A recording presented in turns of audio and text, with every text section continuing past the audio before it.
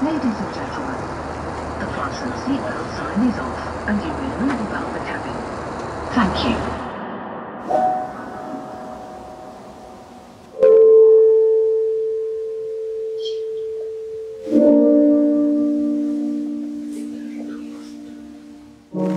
Какое-то есть такое трепетное волнение, потому что играешь произведение Сергея Васильевича, так еще и на его инструменте, в его доме, где он обитал, где он сочинял. Это фантастические ощущения. Я даже не могу передать словами, я сейчас даже как-то сосредоточена, потому что для меня это какое-то внутреннее счастье. Мне кажется, мечта каждого пианиста побывать а, в том месте, где жил великий композитор, и тем более играть его произведения.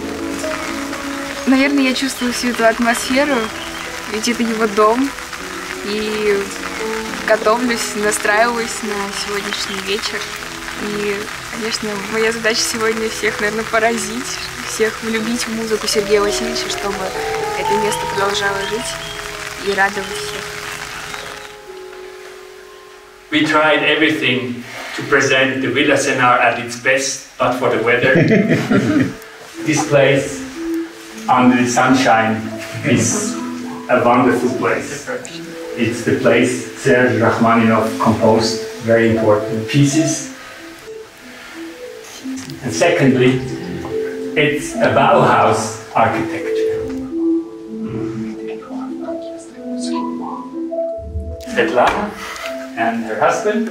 They brought us young musicians. We will see them later on. They will perform together with another musician, which will be introduced later on by the CEO of the foundation, by Ettore Volontieri.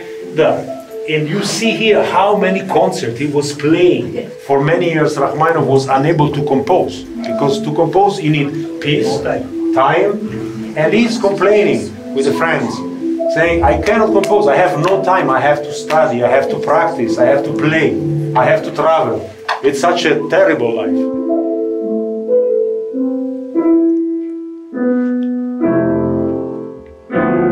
But thanks to this terrible life, he was able to buy this paradise.